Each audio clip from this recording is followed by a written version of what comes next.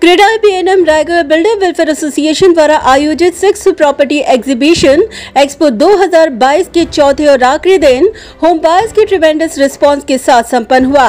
इस दौरान इस एग्जीबिशन के क्लोजिंग सेरेमनी में भू संपत्ति प्रदर्शनी में शामिल तमाम एग्जीबिटर्स को टोकन ऑफ अप्रिसिएशन के जरिए सम्मानित किया गया